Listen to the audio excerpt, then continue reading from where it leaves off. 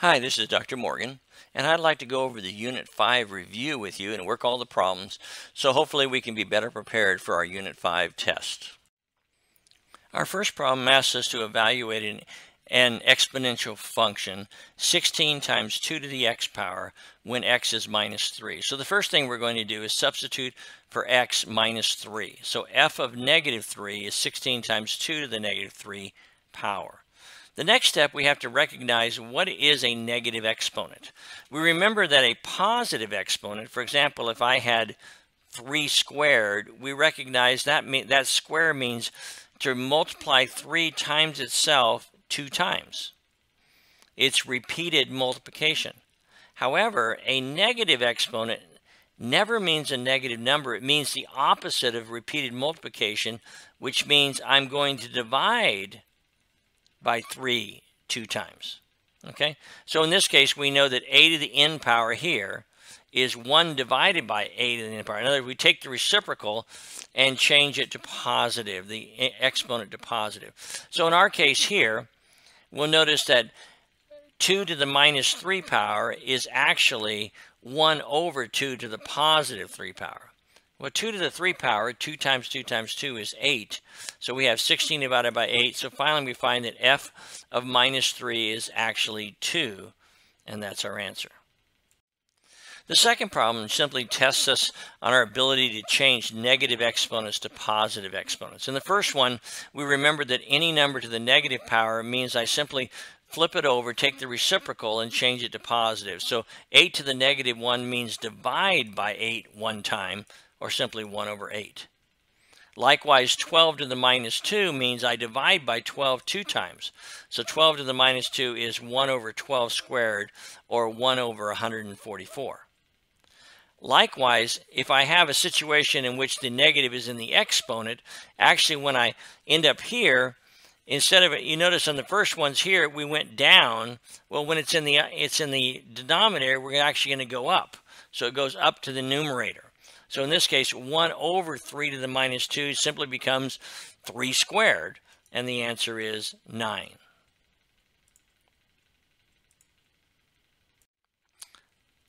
Problem 3 asks us which of the following expressions are equivalent to 1. In the first expression, 11 to the 0 power, remember that any number, every non-zero number, a, a to the 0 is 1. So 11 to the 0 equals 1, and so this answer is equivalent to 1. It's a possible answer. The second one, we need to solve this. And we notice, first of all, the number in the top here, 2 to the minus third, means it's going to go down to the bottom and become 2 to the 2 cubed underneath in that case. Likewise, when we look at the bottom number, remember that in the bottom number, it's going to go up and so 3 to the minus 2 becomes 3 squared. Now we simplify. 3 squared is 9. 2 cubed is 8. 9 over 8 is our simplification. So that's not equal to 1. Finally, we have 1 over 2 to the 0 power. Again, remember, any number to the 0 power is 1. So 2 to the 0 equals 1, and we get 1 over 1, which is 1. So again, this one works and is equivalent to 1. Problem 4 asks us to write a reasonable equation for each graph shown below. In the first graph, we notice that it's not a straight line, it's curved, and we expect that it's probably an exponential function. That means it'll have the form y equals a times b to the x power, where a is the initial value, or the value that it has when x equals 0, or we could call it the y-intercept, and b is the common ratio. What is the factor being multiplied by each time? In the first case, we notice it crosses the line there at 0, 1. That means when x is 0, y is 1, and so our a, our initial value, is 1. The second point we find, the next point, when x is 1, we have the point 1, 2. So now we can compare these two points and say what has what what did 1 get multiplied by to get 2, or we, we divide them the 2 divided by the 1, and we see that the ratio is 2 to 1 between those two points. And so b is 2. This is simply the factor that multiplies each succeeding factor by 2. So we can write our equation as y equals 1 times 2 to the x, or simply simplifying, just write y equals 2 to the x power. Our second graph is obviously a straight line, so it will have the form y equals mx plus b, where m is the slope of the line, the rise over the run, and the y-intercept is b. Let's start by finding the y-intercept. It crosses the y-axis right there at the point 0 minus 4. That's going to mean that b equals minus 4. Our slope then, let's draw a little slope triangle between two points we can readily identify. Notice it goes up 4 and over 2, so my slope is 4 divided by 2, rise over run, and that's a positive slope of 2. So we can insert b, m and b into our equation and discover that our equation is y equals 2x minus 4, and that's a reasonable equation for that line. Our third equation is also a line, and so we do the same thing. Notice that the y-intercept is 0 minus 2. That means b equals negative 2. And our slope, let's draw a slope triangle here, goes down 2 and over 2. So the slope is negative 2 over 2 or negative 1. So now we can plug those into our equation and see that y equals minus 1x minus 2, or we can simplify this to be y equals x minus 2. And that's the equation, the reasonable equation for that line. Problem 5 asks us, what are the values of x that best represent where f of x equals g of x? Well, where f of x equals gx is wherever they intersect. So notice they intersect right there at that point there. And that's simply the point minus 2, 4. And they also intersect down below here at this point here, and that's the point 1, 1. So those two points are solutions for, for both f of x and g of x. And the question is, what values of x best represent? So the values that best represent then are x equals negative 2 and x equal 1. Those are the two values of x where f of x equals g of x. Problem 6 asks this question. A student invests $400 at a rate of 8% per year. What amount of money will the student have to have after two years and then after five years? Well, our equation for compound interest says that the balance, A, equals the principal, the amount you start with, times 1.1 plus R, where R is your interest rate you earn each year. And then that's to the t power, or the amount of time in years. So what we need to do is simply plug in our amounts here. A is our amount. P, our principal we start with, is 400. Our rate 8% is 8 hundredths. Remember, percent means per hundred, so 8% is 8 hundredths. Don't put 0.8. That would be 80%, not 8%. And then t is going to either be 2 or 5. So let's put in 2 first for 2 years. Then we have 400 principal times 1 plus the 8%. Because you, the 1 plus the 8 is because you get to keep your money plus 8% more. And then that, that we're going to do that for 2 years. So in this case, 1.08 uh, to the second power. Square that, that's 1 and 1664. And we find out that after two years, his $400 would be $466.56. Now let's do it if he leaves the money in for five years. Well, at five years, all that changes is the exponent is 5 now instead of 2. So once again, 1.08 to the fifth power is 1.4 and it goes on and on and on, but we're going to multiply it times 100 and now we're going to round this one off to the nearest cent. So if I brought it nearest cent, 3 next to it's a 1, so we're not going to go up, we're going to keep it at 3. So our answer is $587.73. Problem number seven states that a population of endangered fish decreases exponentially and can be represented by the function f of x equals 1200 times 93 hundredths to the x power. What's the percentage rate of decay? First of all, we notice that it is a decay. If your factor b is less than 1, between 0 and 1, this is exponential decay, and, and 93 hundredths is obviously less than k. But what's the rate of decay? Well, the rate of decay is how much less than 100% it is or how much is the decay factor less than 1. So if I take 1 and I subtract the, the 93 hundredths, I find out that it actually went down by 7 hundredths, and that's my annual decay rate. The decay rate is 7% annual decay 100% minus 7% is 93%, or 1 minus 93 hundredths is 7 hundredths. 7% annual. decay. Problem 8 asks us to determine how many real solutions there are to each equation. And it says answers may be used more than once. We're either going to have no solution, one solution, or infinite solution. So let's look at the first one. 8 to the x is 64. Well, if you have two numbers with the same base that are equal to each other, then the exponents must be equal. So that means x must be equal to 2. So in this case, there is a solution. 8 squared is 64, so there's one solution. The second one says that 2 to the x power equals negative 1. Now remember, uh, even if we have a negative exponent, it's dividing. It's not. It's not. Uh, doesn't change it negative. So 2 to the x is never going to be negative. It's always going to be positive. So there's no way that 2 to the x power is ever going to equal negative 9. So in this case, this equation has no solution. Part C, again, we put them together. Recognize that 49 is 7 squared. So if I substitute 7 squared for 49, I get 7 squared to the x power. And by our rule of exponents, 7 squared to the x power is 7 to the 2x. And notice that they're exactly the same. In other words, 2x equals 2x. The exponents are the same. In other, so we see that this is going to be true no matter what the value is of x. And so in this case, this equation is an identity or it has infinite solution.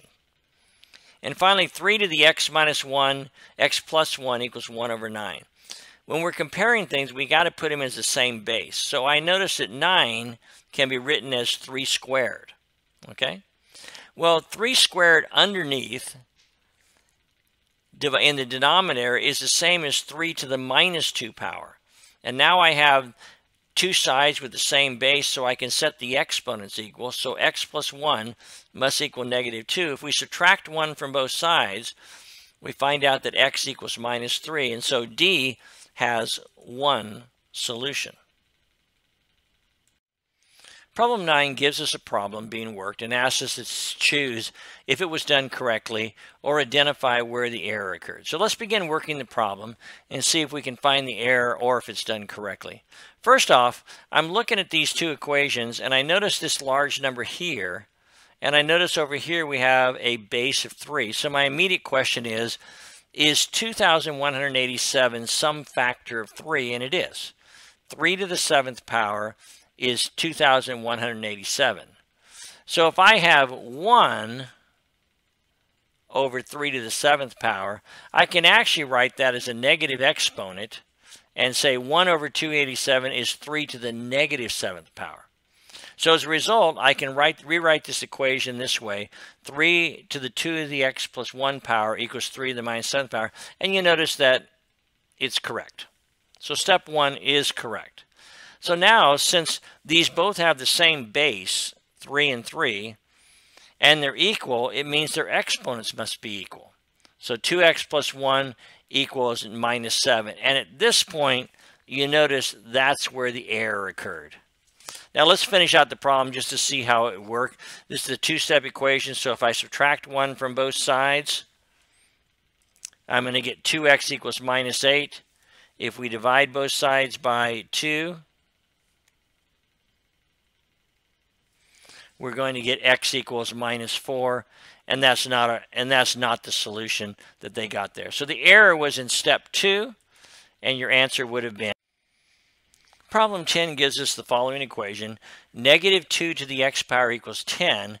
And what they did to see if they could find a solution was they graphed each side separately. So they took the they took the minus 2x and they graphed this equation right here.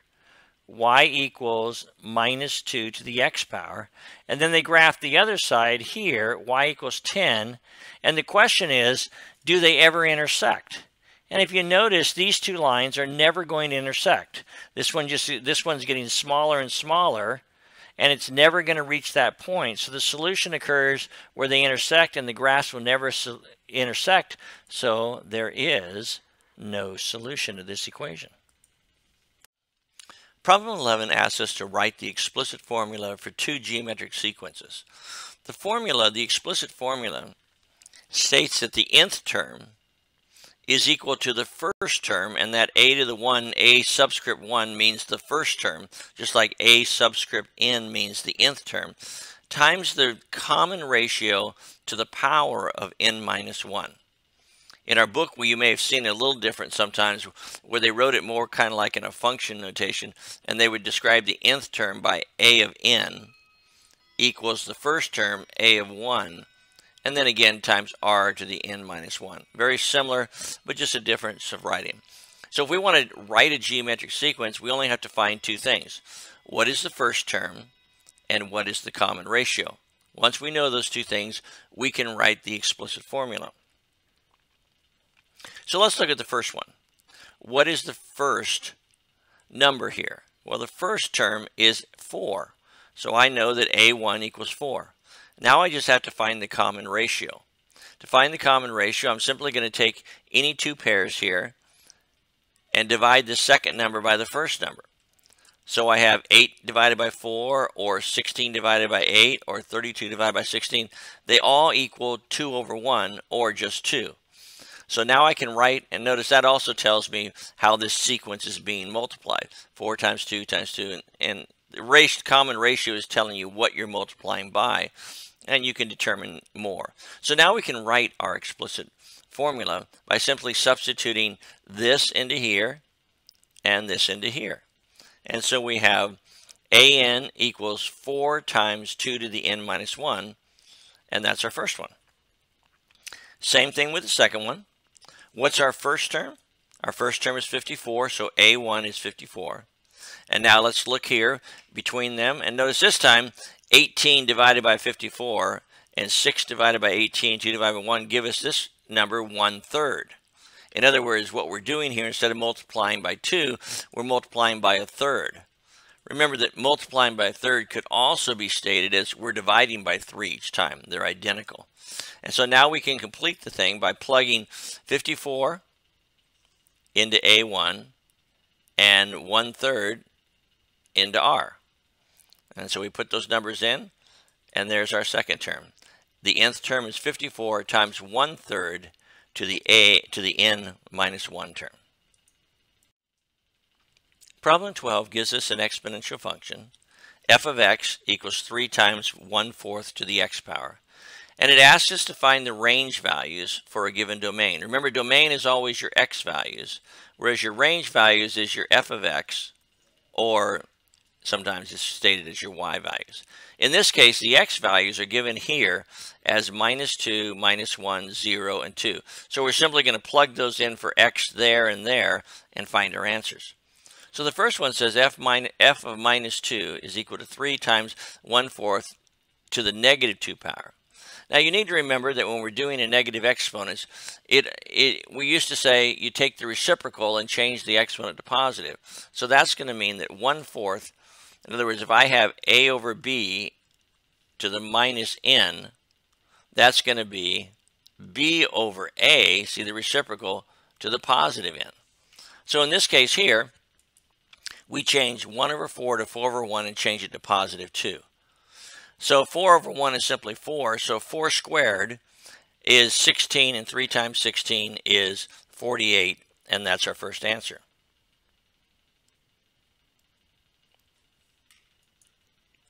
The next one, similarly, again, it's a negative exponent, negative 1, so we change it to 4 over 1 to the positive 1, and we simply have 3 times 4, or 12. So f of negative 1 is 12. f of 0, remember our rule, anything to the 0 power equals 1. So 1 fourth to the 0 power is 1, so this is 3 times 1, or 3. And now we get into positive exponents, so we have 3 times 1 fourth squared, is going to be 3 times 1 over 4 squared, or 3 times 1 over 16, or 3 sixteenths. And finally, those are our three answers. The range is 48, 12, 3, and 3 over 16. Problem 13 is an important problem because it asks us what kind of situations can be modeled by an exponential function. Or is it simply a linear function or something else? In problem one, Matt is paid $15 an hour at his job. So after he works one hour, he has $15.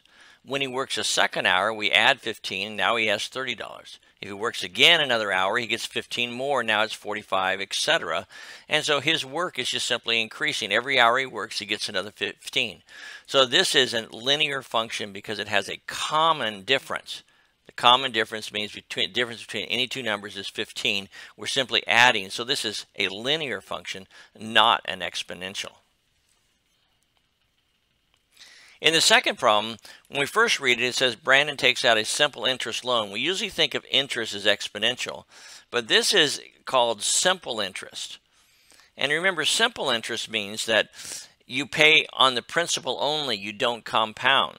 So, for example, if Brandon takes out $100, he's simply going to pay the interest of $1.80 plus his principal back. So, in this example, if he starts off with $100, then after the, whatever period he's paying interest on, a month, a week, whatever it is, he's going to owe another 180. And then if he keep doesn't pay it all back then, he'll owe another 180. And so he's only paying interest on the initial principal, not on the principal plus interest. So in this case, there is a common difference. You're simply adding 8% of the loan each time. And so this again is a linear function. It's not an exponential function. In problem C, we also have an interest problem, but this time it's compounded. It's compounded quarterly, which means every three months they figure the interest and add it to the balance. So in the first case, he starts with 15,000, but then after a quarter, they add the interest. So it's the original one, 15,000 plus 4%. And so now after three months, he's going to owe $15,600. Now, after three more months, he'll owe another 4%, but this time the 4% will be based upon what he owed at the quarter. So we have the whole times that, and we end up with 16,224, and it's growing rapidly. You'll notice then that what we have is not a common difference, but we have a common ratio that each time it's being multiplied by a factor. And when you have that multiplication, that common ratio, then you know you have an exponential function. So we're going to circle C as an example of a exponential function. In problem D, Andrew drains his pool at a rate of 5 gallons per minute. So he's draining so it's going down 5 gallons every minute. So for example, if he had 2,000 uh, gallons in his pool, then after one minute he'd lose 5 and he'd have 1,995. Five more minutes, he'd lose 5 more and he'd have 1990, so on, so on. And so then, therefore, what's happening here is there's a common difference of 5. He's losing 5 each time. So this is not exponential. Once again, this is a linear function. So D is not an example of an exponential function. The last one, it says Steve's collection of insects, insects is doubling each month. Now, doubling means I'm timesing it by 2. So, for example, if Steve had 30, after one month, you double that and you'd have 60. After another month, you double that and have 120, and on and on and on. So in this case, we have a common ratio. In other words, we're multiplying by 2. So this is an exponential function. And so we can circle E as another example of an exponential function. Problem 14 asks us to look at the graph and determine which of these situations, A, B, C, or D, could be modeled by that. So let's look at the graph first. First of all, I want to find out where the beginning point is, the A uh, zero point. Notice here when x is 0, my first term is going to be 1. So this is the point 0, 1. So in my equation for a function, y equals a times bx, a has to be 1. Now we find a point that we can identify here. Many of these are hard, but I find a point there. Notice that at this point where x is 4, y is 5. So we're going to look at this and use this to determine if any of these match. So in the first problem, notice that f of 4, if I put x in for 4, I want to see if I get 5. Well, notice 4 to the 4th power is 4 fourth over 3 to the 4th. So 256 to 181, that is definitely not 5. So A doesn't work as a, a problem. Number B, letter B, says the number of mice decreases 90%. Well, notice that our function is going up. Okay, it's not decreasing, it's increasing. So because it's this one's decreasing, this can't possibly be our answer. C says f of x equals 2 of x. Now, let's check that f of 4 point again. 2 to the fourth power equals 16, so that's not 5. So f of x equal 2 to the x power is not a possible as well. Then the last one says that three-fourths of the plants die every season. Well, if you're dying, you're going down. So that's going to be another decreasing graph. So this one doesn't work. So this particular problem uh, does not have any of these examples would model the situation on the graph on the left. Problem 15 asks us, how can we determine if a function is exponential growth or exponential decay? The key to this is to look at the, the base factor b. Here's our equation, and we want to look at this factor b. That's the key that tells you whether you're growing or decaying.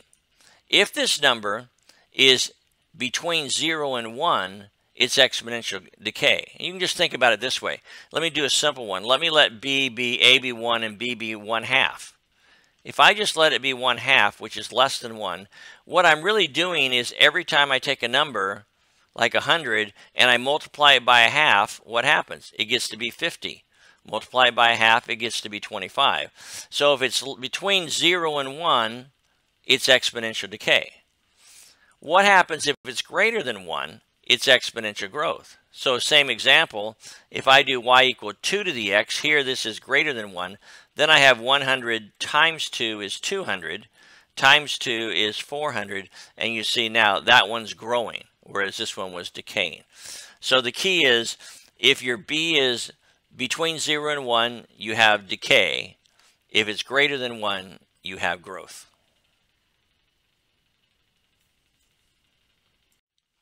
16 asks us to simplify this expression, and what it basically means is take all of the negative exponents and make them positive, which usually means this one's going to come down and this one's going to go up. It also means that we get rid of any zero exponents, which equal 1. So that's going to be our basic strategy on this problem as we go forward. So let's begin. First off, I notice that the 0 exponent equals 1. So I'm going to take the a equals 0 and just simply make it 1. So we eliminated that, and now we just have 3 to the minus 2 times b to the 8th and c to the minus 2. Next, I'm going to realize that any exponent in the numerator can simply go down to the denominator. And so in this case, I'm looking at this one here, 3 to the minus 2. And so we're going to move it down and make it positive. So 3 to the minus 2 goes down and becomes 3 squared. So now we have b to the 8th over 3 squared. And now we just have one left to go. We'll notice that now we have down here, we've got our c to the minus 2. We want to get rid of the minus 2. And so we remember if we have the negative in the, in the denominator, it's going to go up. If I drew that like that, it's going to go up to the top. So this is going to move up and become c squared. And so in our next problem there, we have b to the eighth c squared, and or divided by 9, and our, that is our answer. Notice that we did simplify c3 squared equals 9. So our answer is b to the eighth c squared divided. Number 17, we're asked to solve for x. We have an exponent. x is in our exponent. So the first thing we want to do is write, we notice we have a 2 to the x power. So we're asking, can we write this one as 2 to some power. And in this case, we do know that 2 times 2 times 2 times 2 equals 8. So in other words, we can write that 2 to the x minus 3 equals 2 to the third power. Now, at this point, we remember that if, the, if these two are equal and the bases are equal, then it means that the exponents are equal. So we can set the exponents equal and recognize that x minus 3 equals 3. And now we have a simple equation to solve. We simply undo the subtract 3 from the left side, add 3 to both sides. That's eliminated here, and we end up with x equals 6 as our answer. And if we want to check it out, we can simply notice and say that 2 to the 6 minus 3 equals 2 to the third power, which does indeed equal x, so our answer is correct. Number 18 is a problem similar to one we did earlier. we're being given an exponential function y equals 25 times 2 tenths to the x power, and we want to find the range. The range is all the y's for the given domain for these x's. So we're simply going to plug each of these into this equation, into x, and find out the appropriate values of y. So let's begin. f of minus 2, and I'm going to use the function terminology because I want you to understand this is y when x is minus 2, 25 times 2 tenths to the minus 2. Remember that the negative exponent means that we divide by that number, in this case 2 times. So that becomes 1 over negative 2 to the plus 2 power. So we get 25 times uh, 4 hundredths, or we end up with about 625 is the answer to that one. Now we do for negative 1, same thing. And this time it's 1 over 1 over 2 tenths, but just one time. And you see we get 25 divided by 2 tenths, or the answer is 125. Now we put in 0. Remember that anything to the 0 power is 1, so this is just 25 times 1, or 25. And now we go to the positive. We don't have to change it. 25 times 2 tenths is going to be 5. And then squared, or 2, 25 times 2 tenths squared is times 0.04 is going to be 1. And so we can identify our range as 625, 125, 25, 5, and 1. That's our range. The last part of the question asks, as the domain increases, as this is going this direction, what's happening to our numbers here? And the answer is they're going down. So the values are decreasing. Problem 19 gives us a typical loan problem. You borrow $7,000 at a 2.5% annual interest rate. How much will you owe after three years if you compound it yearly, quarterly, or monthly? Notice each year you're going to only pay 2.5% interest, but it depends on whether they charge it once a year, or quarterly means four times a year, or monthly means 12 times a year. Notice they will not charge you 2.5% each time. Here they'll charge you 2.5% one time. Here they'll charge you 2.5% divided by 4, and they'll do it four times, so it'll still be equal to 2.5. And here they'll take the 2.5 and divide it by 12, and you'll still end up paying this amount for the year, but you'll be doing it either once a year, four times a year, or 12 times a year. That's how the compounding by monthly, yearly, and annually work. So first off, let's remember our formula states that the balance is going to be the principal, $7,000, times our interest rate, which is 1 plus whatever the rate is. This is our 2.5%. And then it's going to be divided by how many times a year do we do this. For compound yearly, that'll be 1. For quarterly, that'll be 4.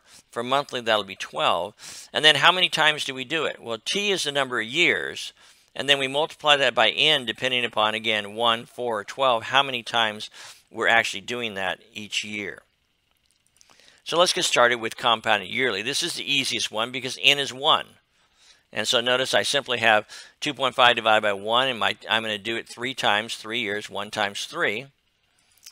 So we ended with 7,000 times 1.025 to the third power.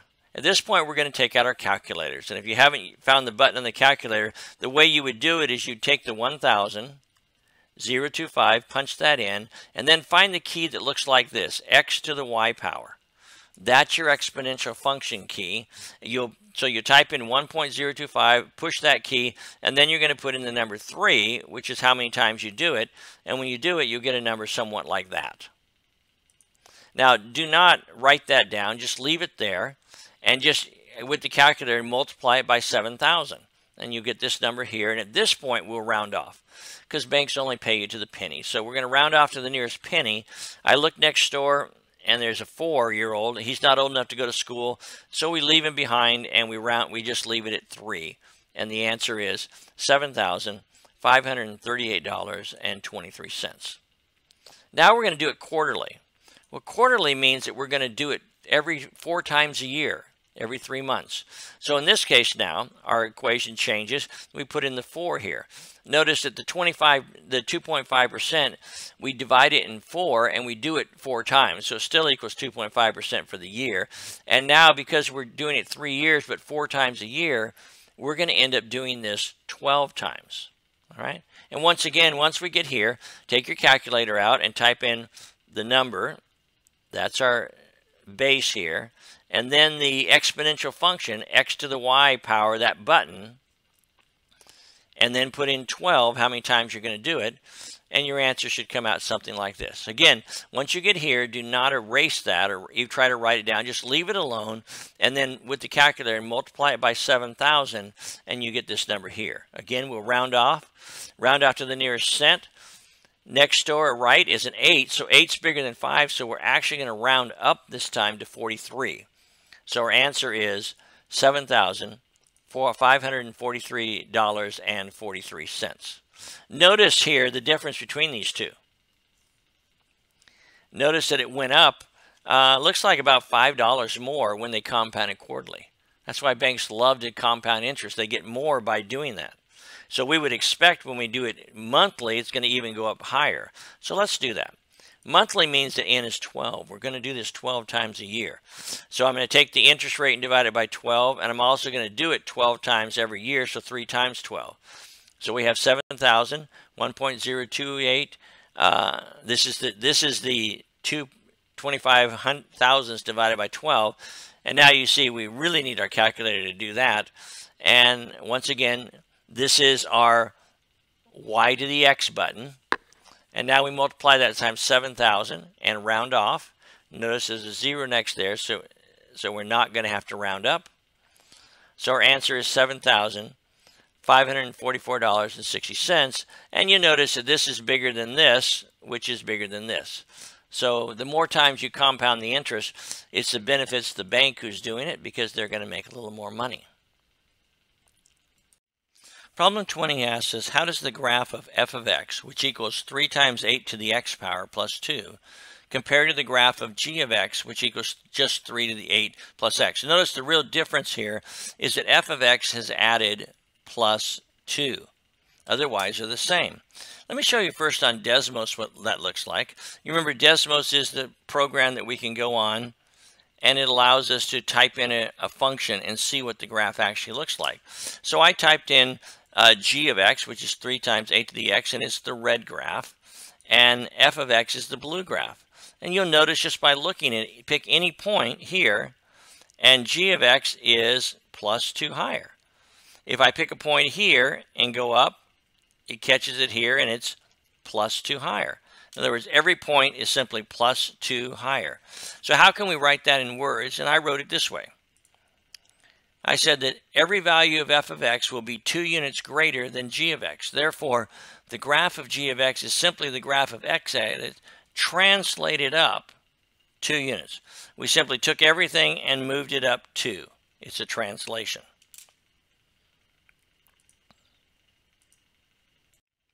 21 gives us a table and wants us to explain in complete sentences whether it represents a linear or exponential function. So what we're looking for is do the do the do the numbers between here and here are we adding or are we multiplying something to get to each next number? And in our case, when we look at it, we notice there's a common difference. 6 minus 3 and 9 minus 6 and 12 minus 3, we're just simply adding 3 to each one. That means that this is not exponential. It means that this is a linear function. The second part says we'll write it as a function then. Well, remember that a table, a linear function has the form of y equals mx plus b. We know that this function here, 3, is going to be our slope. It's going up 3 each time, so we just need to find the b. So what's the beginning point? Well, we don't have a 0 here, but if we were to go back to 0 and simply go back 3, what would it be? And notice that if we subtract 3 from the first number, the point would be 0, 0. So that means b is 0 and m is 3. So we can write our function as y equals 3x plus 0, or leave off the 0 and just put y equals 3 of x. In problem 22, we're given the function f of x equals 2 to the x power over the domain, that's the x values between 0 and 6, and they want us to find the average rate between 0 and 2, 2 and 4, and 4 and 6. So first we have to fill in for each of the numbers what's the, what's the value. So when f of x is 0, 2 to the 0 is 1 power. 2 to the 1 power is 2. 2 squared is 4. Uh, 2 cubed is 8. 2 to the 4th is 16. 2 to the 5th is, is 32. And 2 to the 6th is 64. So there's our values. Uh, there's our, our domain 0 through 6. And our range goes from 1 to 64. Now they want us to find the average rate of change for each interval. And so what we're going to do is we're going to take the f of the 2 between, between 2 and 4, between these two here, we're going to take the f of 2, or 4 minus 1, and over 2 minus 0. So that's going to be 4 minus 1. These are our values here, 4 and 1, and over 2 and 1. Okay? So 4 minus 1 is 3 over 2, and so that's the rate, that's the average rate of change for that one there. Now when we go to do between 0, 2 and between 2 and 4, same thing, but now our values are 16 and 4. So when I look at the function at 4 minus the function at 2 divided by the x's, 4 minus 2, I get 16 minus 4 over 4 minus 2, or 12 over 2, or 6 is our average rate of change over that interval. Finally, we go to 4 and 6. Between 4 and 6, it goes from 16 up to 64. So once again, we're looking at those values. The function at 6 minus the function at 4 divided by 6 minus 4. So we get 64 minus 16 over 6 minus 4, 48 divided by 2, or 24. They want you to contrast then the average rate of change. What's happening as this thing is going up? And notice that the change is going from 3 halves to 6, it's going up. From 6 to 24, it's going up. So we have an interval that is our average rate of change is increasing as x increases. You remember this function looks something like this. And notice at any point the rate, if I drew a line here, the slope of those lines is getting bigger and bigger and bigger. So in this particular exponential function, the rate of change is not constant like a linear. It's always going up. It's increasing. Problem 23, we're asked to solve this by graphing. And what we're going to do is we're going to split the two equation, equations into two. We're going to, we're going to have one equation that says y equals that, and one equation that says y equals that, and we're going to see if they ever intersect. So I'd choose the first equation, y equals 0.5 to the x power. This is also y equals 1 half to the x power. So notice this is going to be, when it's to the minus third, I'm going to divide by that, and I end up with getting 8. If you're not sure about that, what I'm looking at here is I can do it this way and say, what's 1 half to the minus third? Well, that's the same as 2 over 1 to the third power, which is 2 to the third, which equals 8. So similarly, when I have squared to the minus 2, that's going to be 1 half to the minus 2, or 2 squared, or 4. And to the negative 1, it's just going to be 1 half to the negative 1, or simply 2. And obviously, when you get to 0, it's 1. And finally, when you get to 1, it's just simply going to be 1 half. So now let's graph those points. If I set out my thing, I, I know all these numbers are going to be positive, so I set up my x on the bottom. Get me a graph there. And so minus 3, 8 will be here. Minus 2, 4 is here. 2. Notice it's just cutting in half each time. And so our last one is here. And if we were drawing the graph, we would it would look something like this. It's going to come down and go like that. And that's our y equals uh, 1 half to the x or 1 half, 5 tenths to the x. Now let's graph the other one at y equal 4. Well, that's simply a horizontal line at y equals 4, and so it graphs just like that. So the question is, where do they intersect? They intersect right here at the point negative 2, 4. So notice even you can even see it on the graph at negative 2, it equals 4. And so where does 4 and 4 cross? It crosses at the point when x equals minus 2, these two graphs cross, so x equal minus 2 is our solution to this equation that we started with.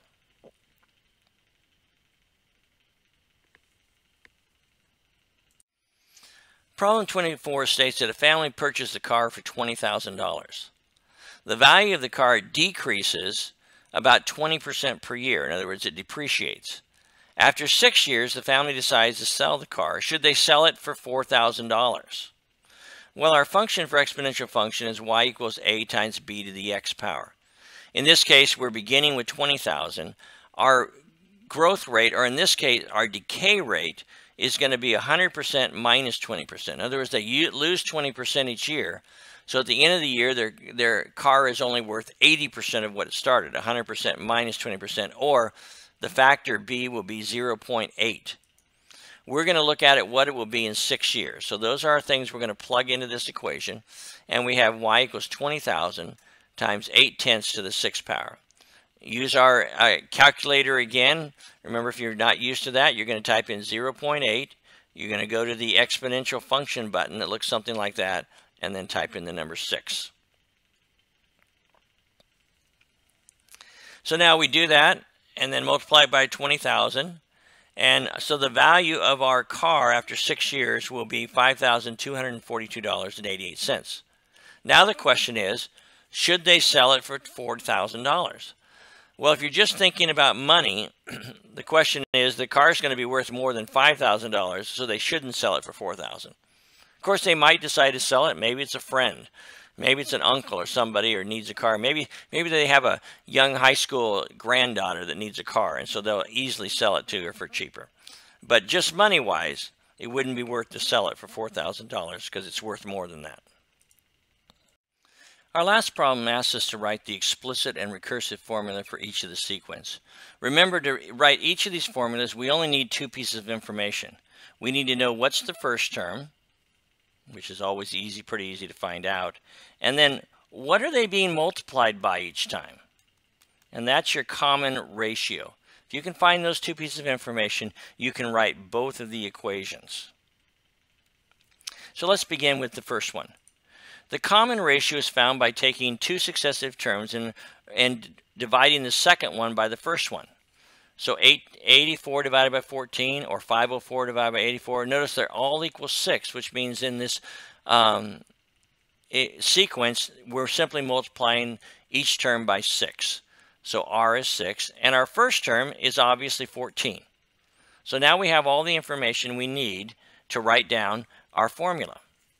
Our explicit formula first says that the nth term equals the first term times r to the n minus 1. So I'm simply going to take my first term and plug it in there. I'm going to take my ratio and plug it in there.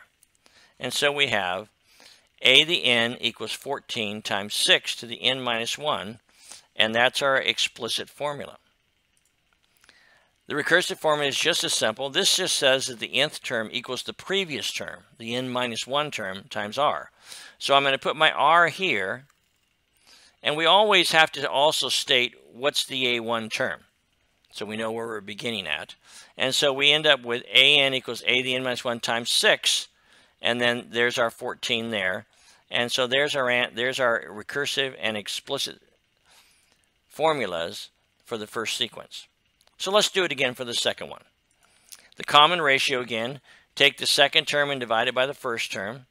This should be the same for all of them. And notice it's, it's one half, or in other words, it's being divided by 2 or multiplied by a half. My initial value is 200, and so I can write the explicit formula. Again, plug in the 200 in for A1, put that in your R for R, and your answer is a the n equals 200 times 1 half to the n minus 1 function, and that's our explicit formula. And again, the recursive, we put in the r there, and then we also state again that the a1 starts at 200. And so there our answer. All right? So that finishes the review. I hope you do a great job on your unit test.